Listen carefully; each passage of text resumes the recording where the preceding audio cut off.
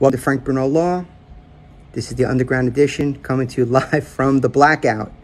Yes, if you have no power in your home, you should at least have a power of attorney, a healthcare proxy, a will, a trust, a HIPAA, and all of your documents prepared and ready and available. So, well, you may not need all of those unless you want to roll them up and light one end to light to light the house. But it is a good idea when you face an emergency to have candles, flashlights, batteries, right?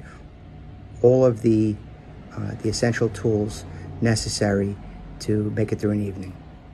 Uh, keep your refrigerator closed because uh, with the power out, you want to keep the uh, the cold air in as long as you can so that you can uh, safeguard your uh, meats and vegetables. if you need me, I'm here for you. Frank at Frank Bruno Law. Thank you.